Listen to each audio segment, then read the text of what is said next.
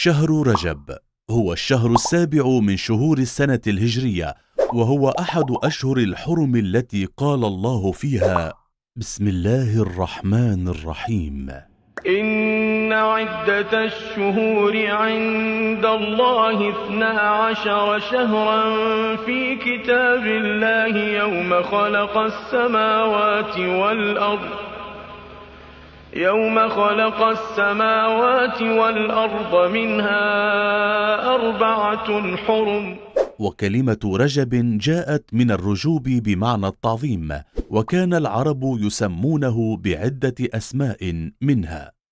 الأصب وذلك لأن الرحمة تصب فيه صبا. الأصم لأنه كان لا يسمع فيه صوت قعقعة السلاح.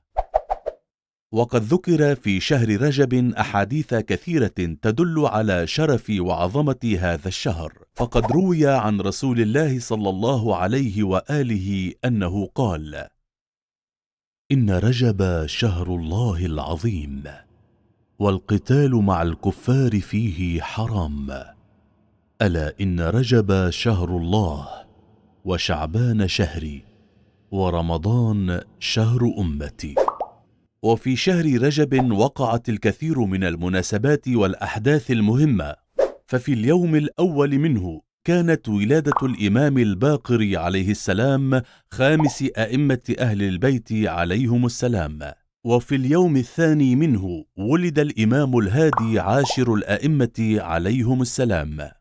وفي اليوم الثالث كانت شهادة الإمام الهادي عليه السلام عن عمر يقارب الأربعون سنة. وفي اليوم العاشر منه ولد الإمام محمد الجواد تاسع الأئمة عليهم السلام. وفي اليوم الثالث عشر كانت ولادة الإمام أمير المؤمنين علي بن أبي طالب عليه السلام في جوف الكعبة وهي منقبة لم يشاركه فيها أحد. وفي اليوم الخامس عشر من شهر رجب تحولت قبلة المسلمين من بيت المقدس إلى الكعبة المشرفة وكانت وفاة عقيلة الهاشميين الحوراء زينب عليها السلام.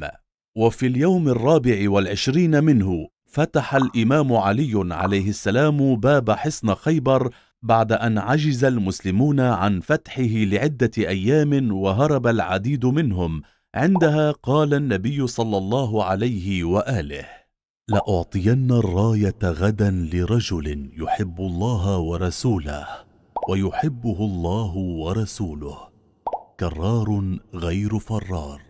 وفي اليوم الخامس والعشرين استشهد الإمام موسى القاظم سلام الله عليه وفي اليوم السادس والعشرين منه توفي أبو طالب مؤمن قريش عم النبي وكافله. وفي اليوم السابع والعشرين بعث محمد صلى الله عليه وآله نبيا وأنزل الله عليه أول آيات القرآن إذ قال بسم الله الرحمن الرحيم. اقرأ باسم ربك الذي خلق. وفي اليوم الثامن والعشرين منه عام ستين للهجرة خرج الإمام الحسين سلام الله عليه من المدينة المنورة إلى مكة ولشهر رجب أعمال مهمة جدا منها الصوم. فقد أكدت الروايات على استحبابه. فعن النبي الأكرم صلى الله عليه وآله أنه قال ألا من صام يوما من رجب استوجب رضوان الله الأكبر وابتعد عنه غضب الله. وأغلق عنه باب من أبواب النار. ومن الأعمال المهمة في هذا الشهر الاستغفار. فقد روي عن النبي صلى الله عليه وآله أنه قال رجب شهر الاستغفار لأمتي. اكثروا فيه الاستغفار فإنه غفور رحيم.